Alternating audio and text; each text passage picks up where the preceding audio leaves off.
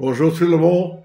Hello, everyone. My name is Ken Woods. I'm the artistic director of Colorado Mahlerfest and the conductor of the English Symphony Orchestra.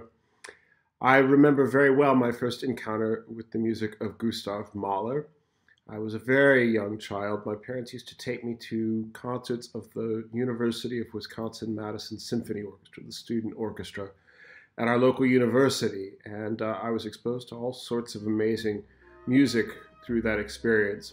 One of the musicians in the orchestra was a student of my father who taught chemistry at the university. He still teaches there to this day.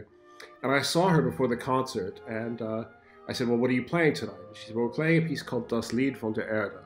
And I said, What's that? She said, Well, it's a piece by some Austrian composer. And I said, Well, is it good? And she said, Well, it's very long. And, and with that, she walked off with a twinkle in her eye. Um, I loved it. I was so young, I didn't know what to make of it, but I loved it. I felt like I'd gone on a great journey at the end.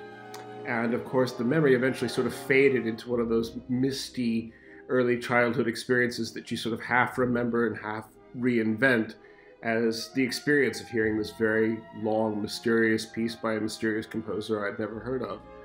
Years later, I went to hear a concert of the first symphony, and I came back from that full of excitement and joy and told my parents about what I'd just heard. And my mom reminded me that this was the same composer of the very long piece I'd heard as a very little kid.